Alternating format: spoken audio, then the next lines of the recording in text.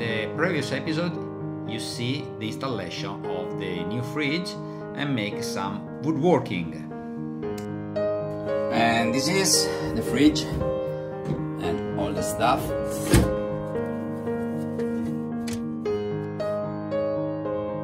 So thank you Domenico for helping me.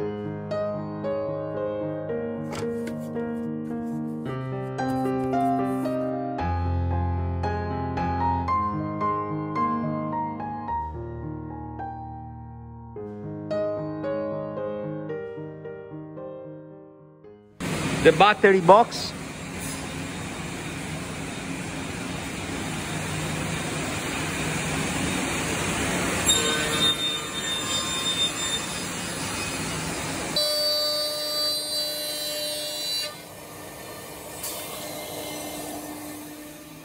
those are my battery box the new one. I already make from with the cnc mill machine the aperture for the cables for this is just under the chart table seat and this is for the engine battery. I made the new one. Because the old one was completely crap you can see here they are completely gone completely corroded. This was just behind uh, just below the chart table it was corroded too. So I did the new one those are the new one. So for this now I start to gluing with epoxy after use some screw. This is a very tough material, one of the best plywood on the market. And you can leave one week in the water and doesn't happen nothing. It remain the same. So I use for the battery because it's very tough, it's very tough and it's very safe. And the same here, you can see the base, the same material for the battery. I will use the normal um, the normal plywood, uh, Okoume plywood to make the box just under the seat. The previous uh, box was very big for the batteries, probably stay two batteries, but in this case I will use one battery only. I will use two Victron battery 110 AGM and one for engine is 75 um, ampere hour uh, made by Optima. Uh, so the gray one is the for the service battery, the first AGM, and I will use just under the seat of the chart table, the second one 110. But the original box was too big, so we'll use this uh, piece of plywood, same material, tough material. So I can divide the battery here. I will use this space to storage some spray like WD-40 or also or something fuse here electric. And here we use the battery. I make a very high divisory. And this is the original cover that I need to make a little uh, modification, but I use this to make that one.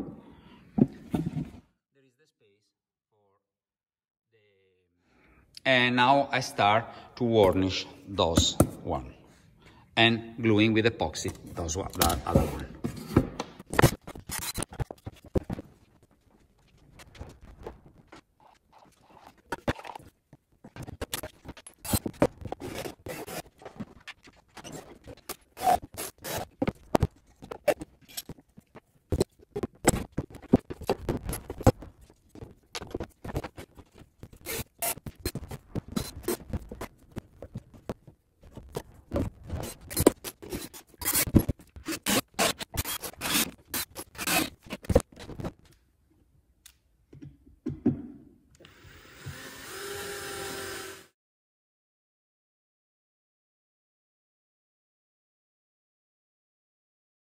Good morning guys, another day at power plant to work on Ellös.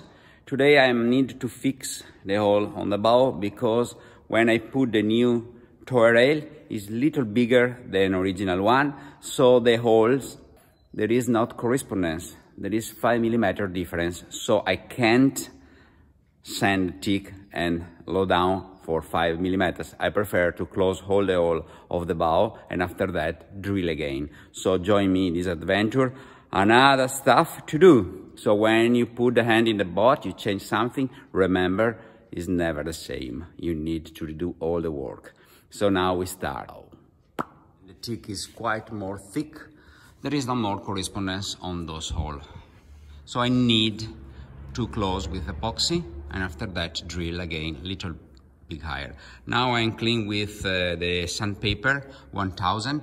I need to sand the gel coat to take out the rust and prepare everything for be closed with epoxy. Oh, you can see here, there is no correspondence. The bow roller is more higher than the original holes.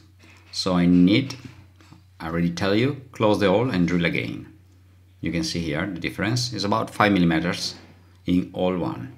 Now the most difficult part is centered perfectly and drill in the same position. Use uh, some epoxy putty, very strong, and we go.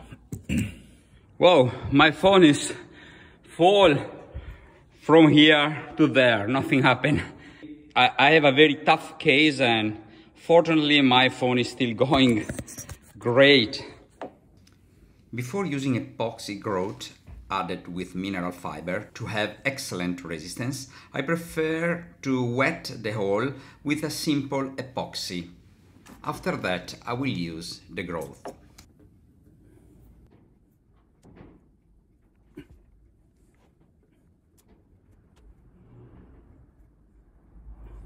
Hi guys, I completely fill up all the holes, no bubble air, completely strong. And now we wait that it cure and we need to make other holes. You can see here the tape that I use to protect the um, epoxy that doesn't uh, come out. Uh, I will take out uh, tomorrow and for sure I have a very strength material to drill. You can see the old hole that already uh, fill up with epoxy and that I need to drill. And now I need also to use some uh, sealant to cover just the bow. And now we start with the black sheet.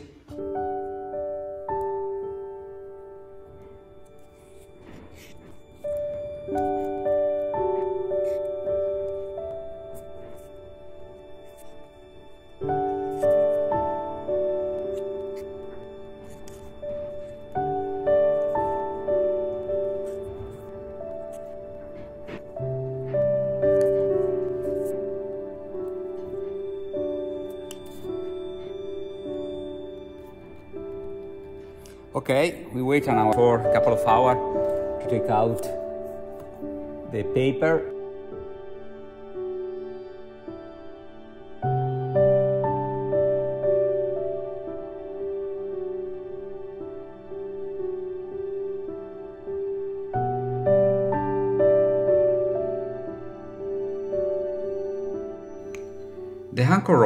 is anchored to the board with an 8mm bolt screwed into the fiberglass directly.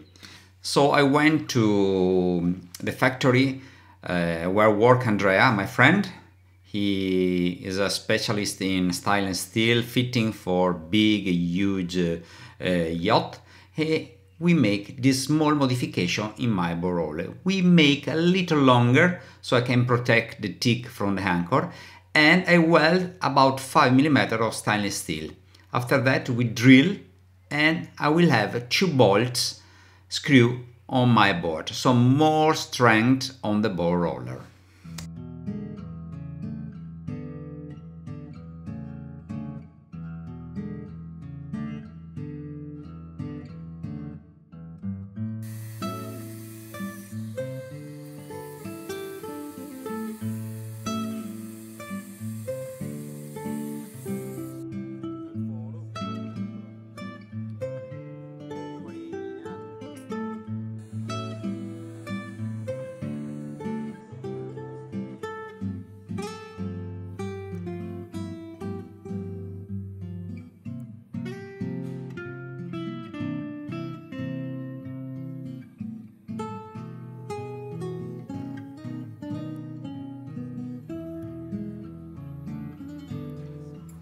I also had to reinforce the welds on the spinnaker attachment on the bow pulpit because I noticed that there was a crack in the metal. So, to avoid any problem in the future, I prefer to do now.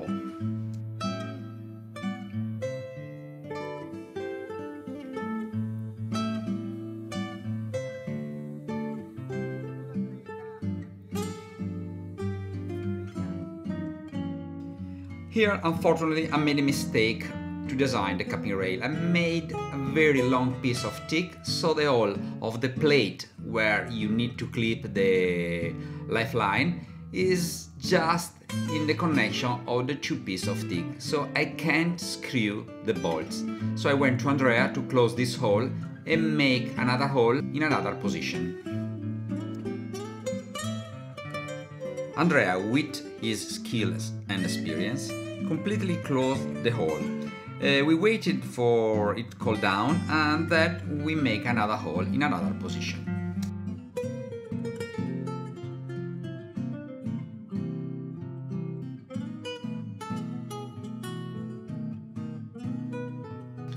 Another more liquid steel to finish to close the hole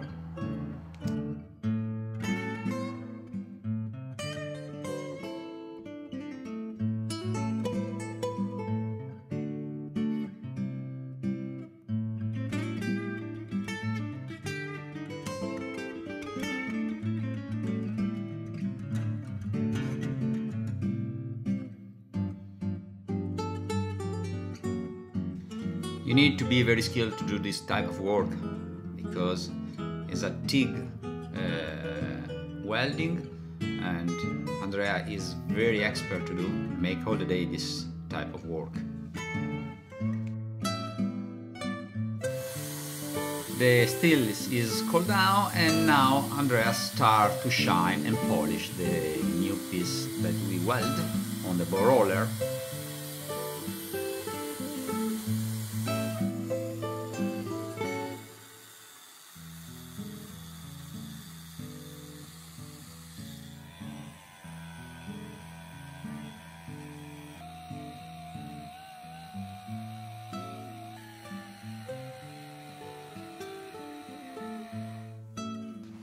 time to polish and my bow roller now get a little more stainless steel and is more strong.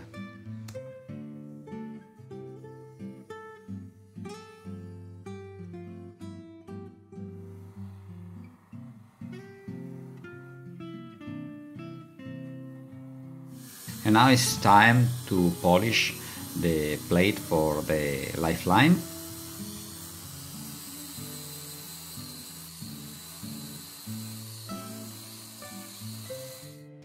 Before doing the final polishing, we have to make the new hole, which will be one centimeter further away from the interruption of the capping rail.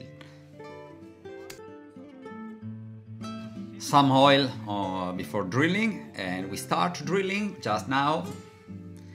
The hole is about uh, 8 millimeter wide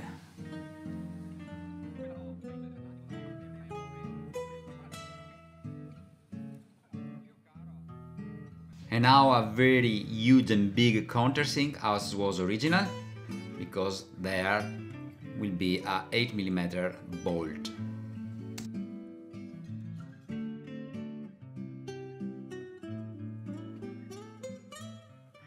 I need to install the bow, bow roller. Uh, is change the holes. They are more higher, so I need to center perfectly all the holes on the bow. So we'll use a caliper and I go. So I use the caliper to make the correct alignment of the bow roller as was original. I need to make the holes about one centimeter higher the original that was made 30 years ago. So I spend a very lot of time to align perfectly the old holes with the new ones. I can't make any mistake because it's very important piece of the boat. Also in the bow roller there is the attachment of the stay of the bow and for this reason the alignment must be perfect.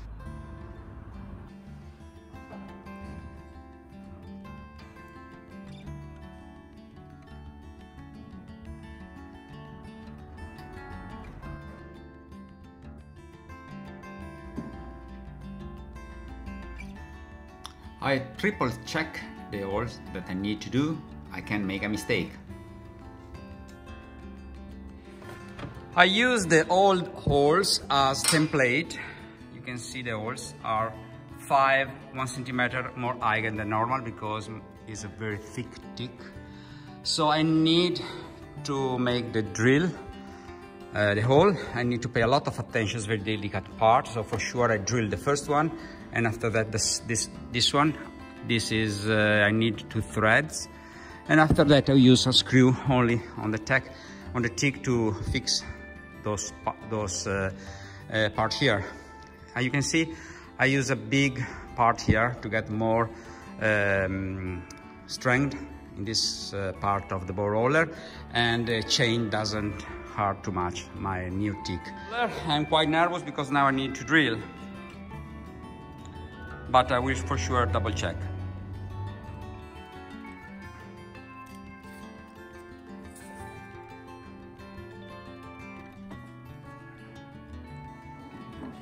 I need to clean with acetons to take out the line of the pencil and in a while we start to drill the holes.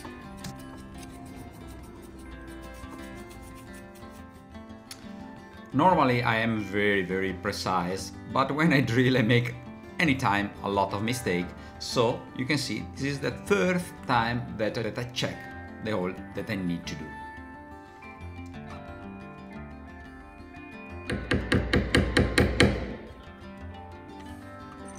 Those are the bolts.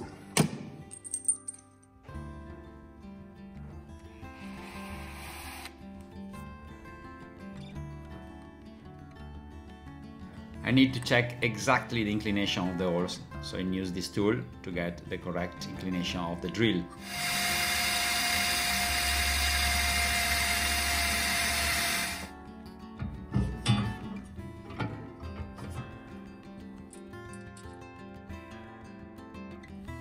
countersink the hole is very important to avoid to crack the gel coat and also make a ring of sealant to avoid the water penetration.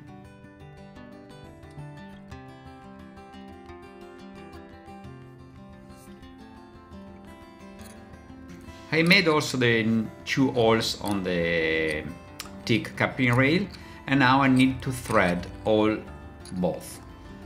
This is only thread and the first one original my idea was to thread also the new one but now I have a lot of space below the deck to make a through hole so I can use a through bolts and make a very very strong installation in the bow roller.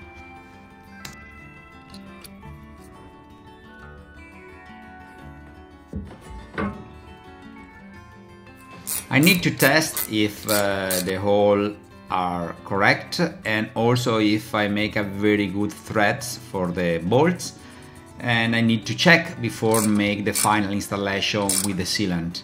Yes, it's very tight and I like the installation.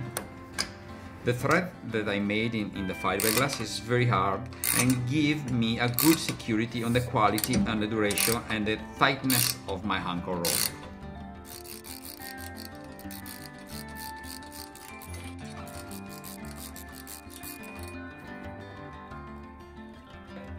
The use of the epoxy resin in the hole on the teak allow me to have a greater resistance and at the same time a waterproof so the teak doesn't rot. Guys, the bad lucky hunt me. I was very careful and I measured 20 times, but I told you, for me it's easy to make a mistake. Uh, the first hole I made for the bow roller was too high, the other hole was perfect except this one. So now I need to fill up with epoxy and tomorrow we'll drill again. My god, so stupid.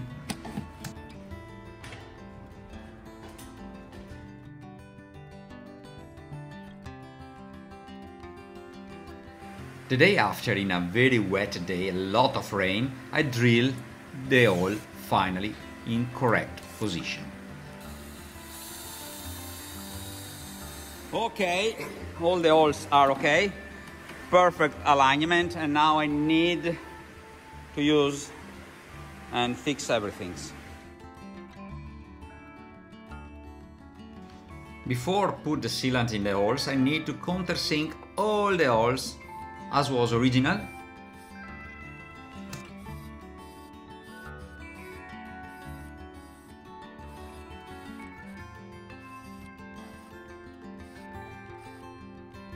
cleaning with acetons.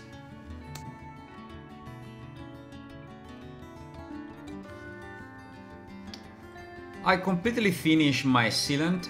I use normally the 3M 4200 for this type of work. The 5200 is too strong. So I use the end of the bottle using this small spatula to spread all the sealant around the holes. Normally I use the gun, but in this case there was not more available.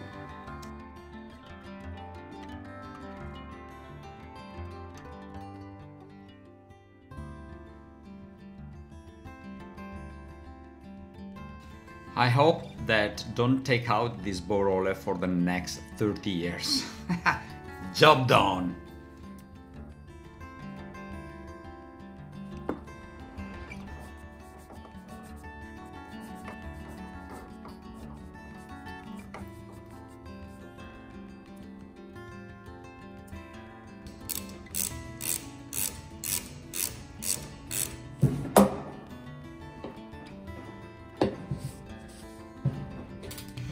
Quite awkward to do for yourself because it's a huge, for me, uh, bow. So uh, in one hand I have the screw, in the other one have this type of tools to completely fix my bow roller, but at the end Franco coming in the power plant to help me to give the correct uh, tightness of the bolts. But I do 90% for myself.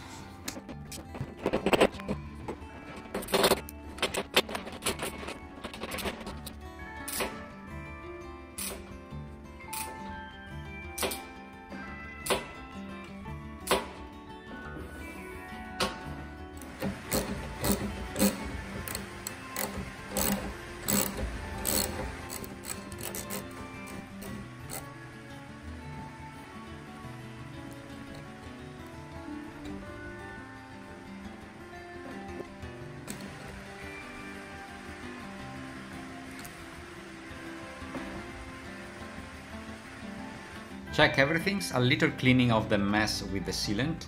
I hate the sealant because it's very easy to make a mess, but not too much in this time.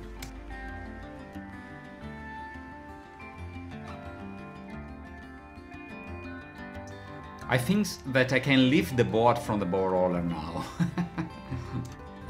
is already cured. Now I need to insert this long one, the maximum strength on the anchor and everything will be okay. The total thick is about uh, 8 centimeter, so I need a very long bolt to pass all this uh, quantity of material.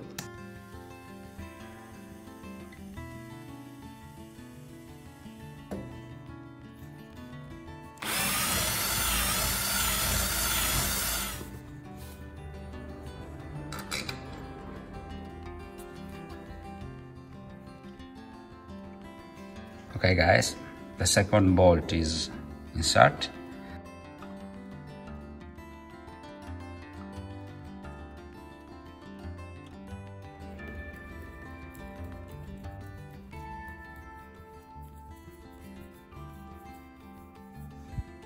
Okay guys my roller is installed and we move soon in another episode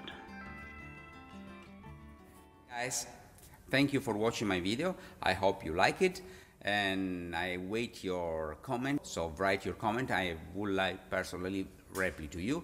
And if you like my video, remember always to leave thumb up. We will see in the next episode. For the moment is all. E Gabriele say, hi.